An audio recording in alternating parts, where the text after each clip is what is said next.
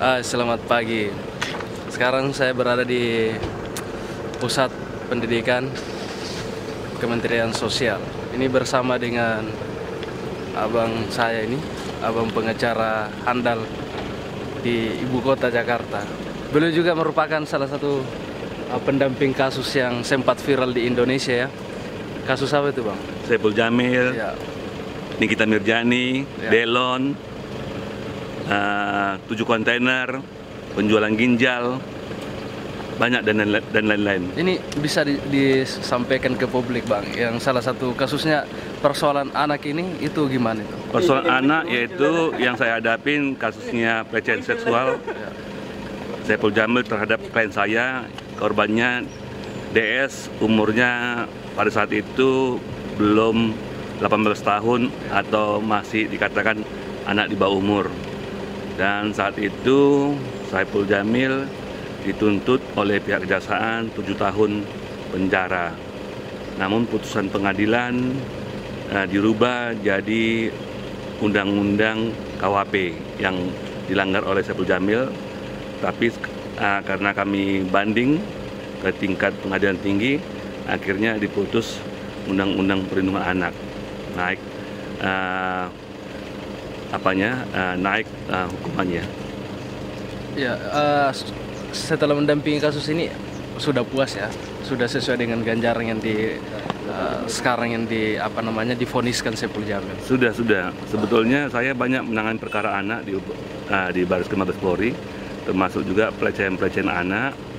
Uh, di antaranya ada yang um, buka akun palsu dan mereka mengaku sebagai guru uh, ketika yang dihadapinya itu anak SD mengaku dia selaku guru SD tempat sekolahnya.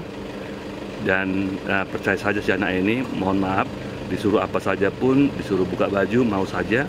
Demikian juga dia kalau mau uh, sampelnya ke SMP dia menyamar sebagai guru SMP nah saya pada saat itu uh, yang saya dampingin saya harapkan pelakunya ini dihukum berat karena sudah memalukan dan perbuatannya sangat mencoreng nama baik bangsa kita. Ya.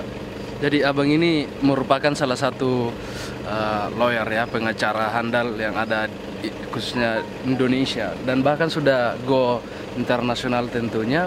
Ini siap bang ya, ketika di daerah-daerah membutuhkan perlindungan hukum dari abang. Iya, saya sering, saya sering ke ke daerah juga. Salah satunya saya diundang untuk ke Manado melepaskan seorang pendeta yang ditahan Ya, eh, karena pada saat itu pakai pengacara di Manado tidak bisa. Saya diundang ke Manado, saya ketemu Kajari di masih di tingkat kejaksaan negeri. Karena saya langsung ketemu sama Kajari, besoknya pendeta itu langsung dikeluarkan dari penjara. Bahkan keluar keluar daerah pun saya sering. Saya sebetulnya pengacara yang sering menangani kasus uh, korban.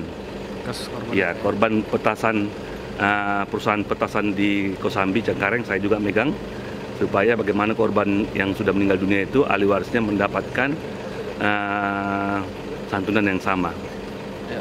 Apa pesan bang ini ke publik khususnya untuk eh, anak dan perempuan?